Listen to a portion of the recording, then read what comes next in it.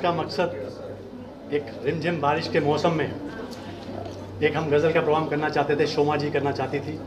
और Mumbai karaoke club जो हमारे साथ जुड़ा हुआ है, शोमा जी जुड़ी हुई है, वो एक बेहतरीन गज़ल का प्रोग्राम करना चाहते थे। और उसके साथ ही मेरे जो चैनल है वी एस नेशन उसके हज़ार एपिसोड कंप्लीट होने वाले थे। तो हमने इसको क्लब किया और आज सेलिब्रेशन के तौर पे हमने वी एस नेशन के हज़ारवें एपिसोड को यहाँ सेलिब्रेट कर रहे हैं। यहाँ पर चीफ गेस्ट जो आपके हैं कुलदीप सर आए हैं। उनके बारे में क्या कहना चाहेंगे? कुलदीप सर तो लीजेंड हैं और बहुत ही मतलब तुल्य अपना भगवान तुल्य भी हम बोलें तो कम नहीं है और इतने सादे सरल हैं और उनकी जो प्रार्थना है, वो तो वर्ल्ड फ़ेमस है और मुझे लगता है कोई ऐसा आदमी होगा नहीं जो ये प्रार्थना नहीं बोला होगा या नहीं कभी जीवन में गाया होगा।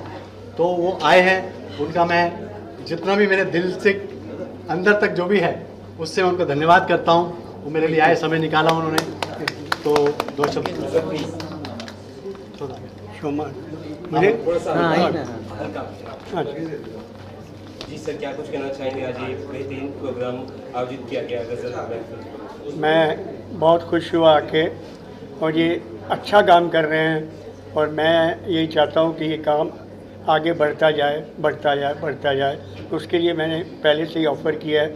मेरी कभी भी किसी प्रकार से भी ज़रूरत पड़े तो मैं इनके लिए हाजिर हूँ। सर आप क्या कुछ कहना चाहेंगे? आप आज काफ़ी मतलब जी आज के प्रोग्राम में जो सबसे बड़ी ख़ास बात है कि देवेंद्र जी के चैनल वीएस चैनल के ये हज़ारवा एपिसोड है। इसके लिए मैं बहुत बहुत बधाई देता हूँ। और शोमा जी जो इस तरह के कलाकृति में अपनी कला दिखाती रहती हैं और दोनों का जो कोलैबोरेशन हुआ है, दोनों ने मिलके जो आज का प्रोग्राम रखा है, एक पंथ, दो काज प्रोग्राम भी हुआ और हजारवां एपिसोड भी इसी प्रोग्राम का बना। इसलिए बहुत बहुत धन्यवाद देवेंद्र जी शोमा जी को कि इस तरह का कार्यक्रम रखा और कुलदीप जी आए तो कार्यक्रम और अच्छा हो गया। और जैसे कुलदीप जी ने कहा शोमा जी जब भी हमें बुलाएँ हम आ जाएँगे। देवेंद्र जी तो वसई तक बुलाते हैं मैं तो वहाँ भी जाता हूँ। क्या कुछ कहेंगी आप इतना सब तारीफ़ कर रहे हैं प्रोग्राम कैसा रहा? मैं बहुत खुश हूँ। मैं बहुत खुश हूँ कि हमारे पार्टिसिपेंट्स आज इतने बड़े लीजेंड्स के साथ मुलाकात कर पाए। ये लोग सिंगिंग इनकी बहुत लेट इन्होंने शुरू किया है। जैसे मैंने पहले भी कहा था कि जो वक्त था अ, इनको सीखने का और गाने का उस वक्त में इनको दूसरे कामों में बिज़ी रहना पड़ा।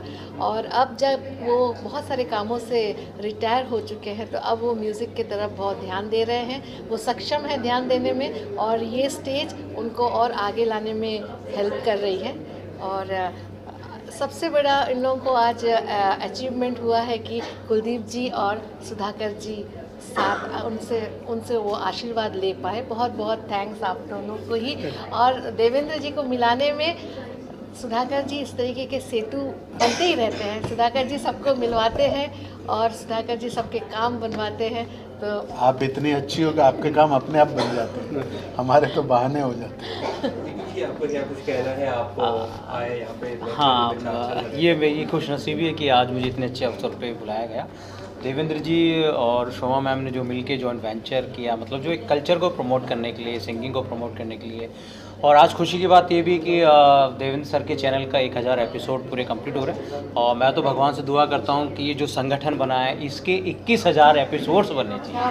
नहीं नहीं हम लाखवें एपिसोड पे भी आएँगे। उसके नेक्स्ट हमारा ये है कि 16 सितंबर को हम एक बड़ा इवेंट करने जा रहे हैं ब्यूटी पेजेंट जिसका नाम है miss Mrs evergreen India 2023 plus size तो पहली बार प्लस साइज़ थोड़ा बड़े लेवल पे हम कर रहे हैं और उसमें अच्छे सेलिब्रिटी होंगे और बड़े भव्य तरीके से प्रोग्राम किया जाएगा। वो भी हम इसलिए कर रहे हैं, जैसे शोमा जी ने कहा कि ऊपर निकलने के बाद उनको स्टेज नहीं मिल पाता। तो उनके लिए मिसेस का जो रखा है वो इसलिए रखा है। और जो थोड़ी सी प्लस साइज़ होती है वो सोचती है हम नहीं कुछ कर पाएँगे लेकिन साइज़ मैटर नहीं करता। अगर आप में टैलेंट है साइज़ है तो कुछ भी अचीव कर सकते हैं। तो इसलिए मैंने ये पेजेंट रखा है। मुंबई में होगा?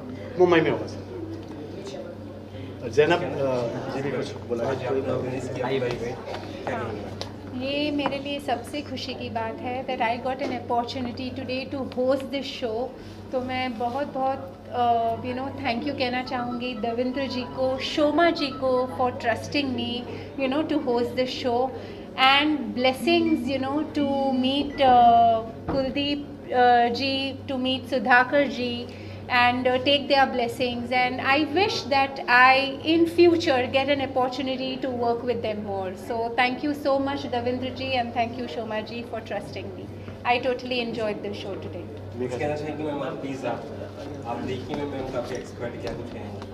मैं तो प्लस साइज़ से बड़ी इम्प्रेस हो गई थी कि मेरा प्लस साइज़ है और मैं पहली कंटेस्टेंट बनना चाहूँगी। और पहले तो कंग्रेचुलेट करूँगी मैं देवेंद्र जी को, जिन्होंने थाउज़ेंड एपिसोड इतने कम समय में पूरे कर दिए हैं। तो आप आगे तो बढ़ते ही जाएँगे और शोमा मैम के साथ जो काम करने का मज़ा आता है इट्स लाइक म्यूज़िक थेरेपी है।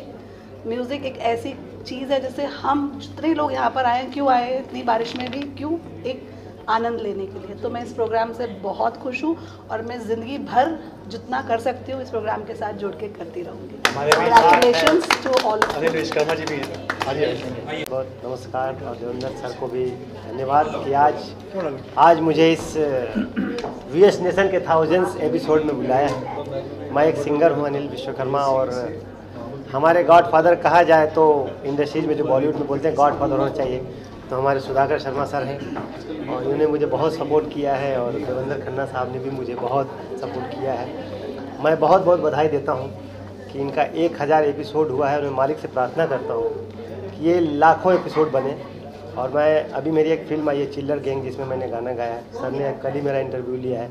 मैं आपका तहे दिल से शुक्रिया अदा करता हूँ। और शुमा मैन का भी मैं बहुत तहे दिल से आभार व्यक्त करता हूँ कि मैम ने मुझे कम से कम पंद्रह बीस गाने गाए इनके कंपोजिशन में। और अच्छे गाने गाए। इन सब का प्यार है। मैं चाहता हूँ कि आप सभी इनको दुआएँ दें कि इनका वी नेशन जो है, लाखों के करोड़ों एपिसोड बने।